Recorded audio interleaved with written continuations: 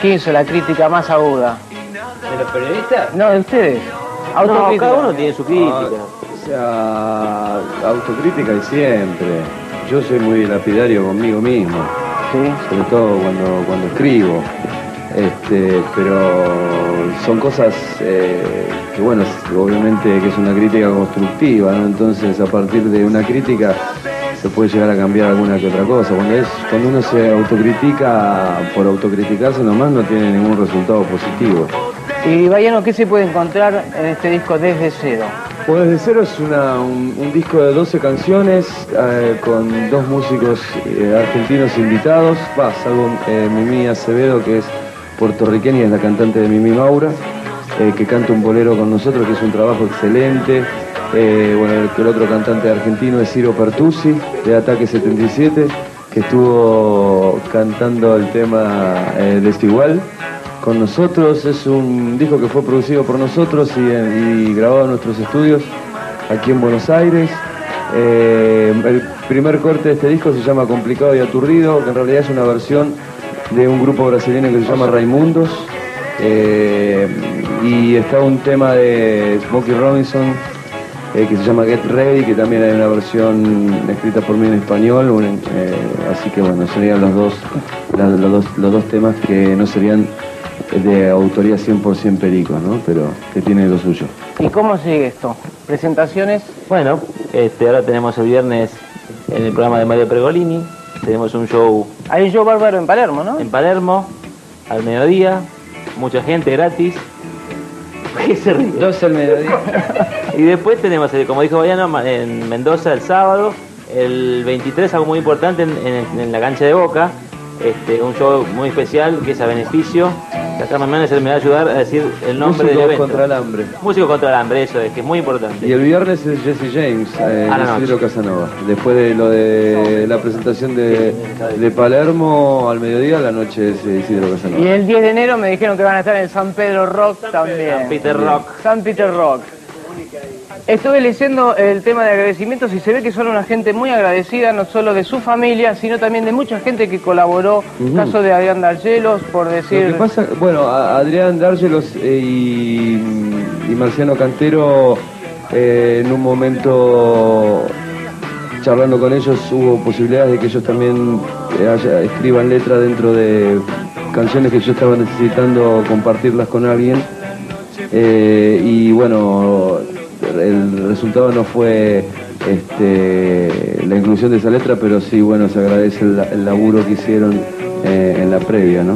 Sí, también, perdón, eh, pero también, yo que sé, Alejandro Terano, Miguel Ángel Talarita, que iba a estar con nosotros, también ayudaron los arreglos, hay arreglo de cuerdas, o sea, por eso en los agradecimientos hay mucha gente que trabajó en el disco, eh, que por más que no lo vean, siempre somos la cara de todo, mucha gente que, que trabajó. ¿Qué pasa en esa época donde dejan una compañía y todavía no aparece otra?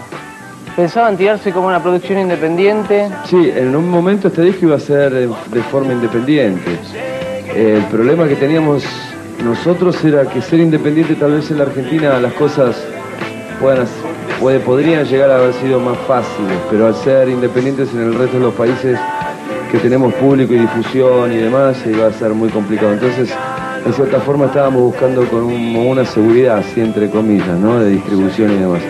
Y habíamos recibido eh, ofertas y bueno, de, de- de diferentes compañías discográficas y elegimos a Universal con sede en México, eh, que eso no quiere decir que Universal Argentina no distribuya ni nada, ¿no? sino que es la primera vez que nosotros firmamos con una multinacional que no tenga sede en la Argentina.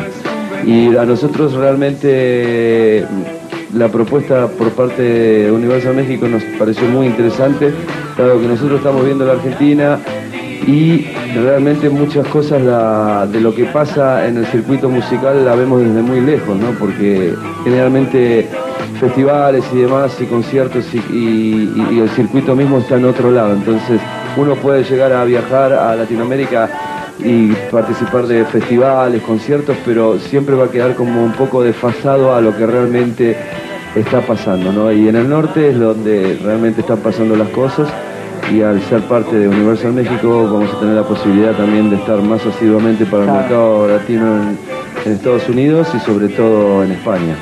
Y en un momento oportuno, más que lógico para la presentación del disco, se da la posibilidad de hacer un comercial de una cerveza donde los pericos explotan también y tiene mayor difusión. ¿Cómo, cómo surgió eso? Hace un año fue. Hace, hace un Lo que pasa es que como no daba la situación ni para la marca ni para nosotros de salir en el verano, eh, en el medio de una fiesta, después de todo lo que pasó en diciembre, Claro. inteligentemente la marca también decidió posponerlo y gracias a Dios coincidió con la salida. Ahora nuestros chicos te van a contar un poco más lo que fue hacer ese A ver, ¿cómo, cómo fue esa experiencia? ¿no? Porque más de uno quisiera estar en el lugar de ustedes, estos guachos, encima van a tocar, la pasan bien y, le- y les pagan. Salió del alma. Les salió de adentro. No, la experiencia fue, obviamente, como se ve, muy linda. El lugar eh, era un paraíso total. Y, y bueno, fue eso, estar en la playa, nadar. Hubo tomas eh, subacuáticas.